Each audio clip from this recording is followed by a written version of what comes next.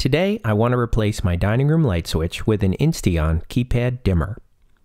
I'm slowly upgrading the home automation features in my house, and I chose the Insteon ecosystem for its reliability and features.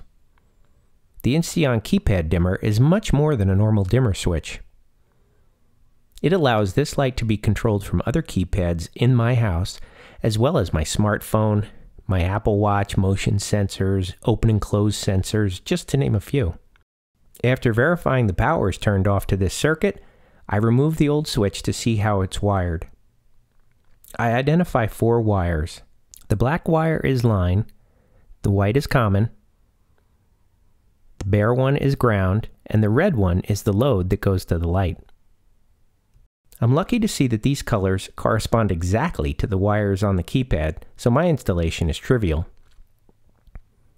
If I had multiple black wires on the switch, I'd need to figure out which one is always on, that's called the line, and which one goes to the light, known as the load. After the wire nuts are tight, I turn the power back on and give it a test before completing the installation. The top left button controls this light. Press the button once to turn the light on. Press it again to turn it off. Easy enough. Press and hold the button to change the brightness of the light. First it gets dim, then the second time it gets bright, and so on. I can adjust the default brightness of the light so that it always comes on to the desired level. First, I set the brightness that I want, and then press the little set button once. From now on, by default, it comes on to that brightness. I can still dim it and make it brighter if I want, but the default level always stays the same. I can also set the ramp rate to make the lights come on and off slowly.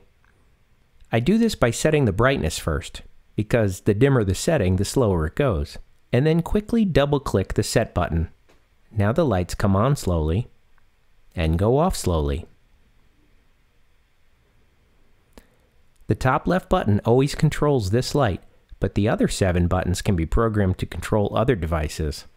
More on that in future episodes.